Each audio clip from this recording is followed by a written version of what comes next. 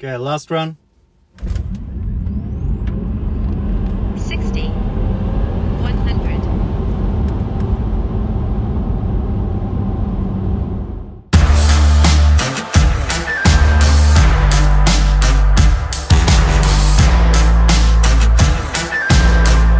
Have you also noticed that your performance is slower than usual? That the performance is not actually that much of a performance anymore? Because I have, and it feels more sluggish. It feels like it's um, you're having a cold battery, like the um, lines up on the battery here, but you don't. And you have high state of charge, but it feels like you have 30%. Well, you're not alone, and I'm not alone. After updating the car to the version V10.2 2020.4.1, me and others have noticed that the car is slower. You can feel it. You can feel it really good. You can feel it off the line.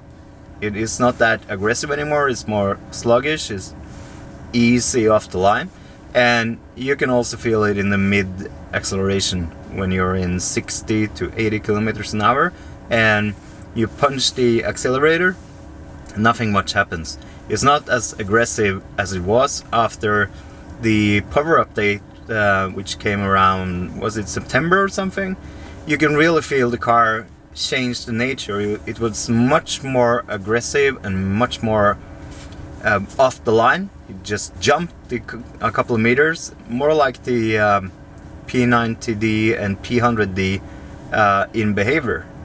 But now the performance is acting up.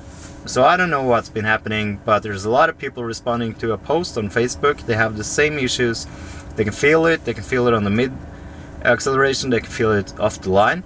Um, I've been doing a couple of runs with the Dragy, and the Dragy tells me that the car has been slower.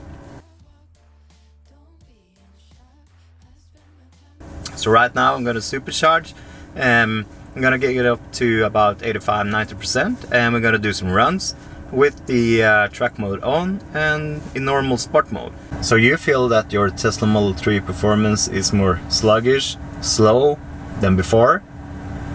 Well, it's actually not. Here's why. First try in sport and everything. Let's see. 60, 100,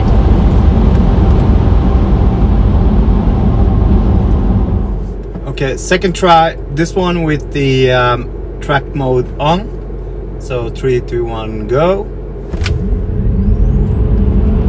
60, 100, Second run, no track mode, just the um, normal driving.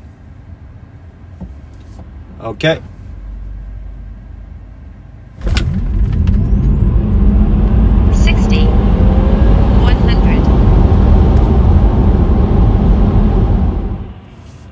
Okay, normal with slip start on. Three, two, one. sixty, one hundred,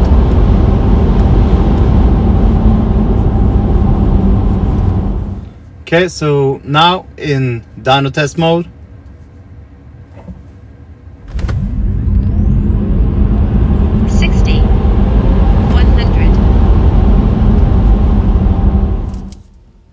Okay, last run.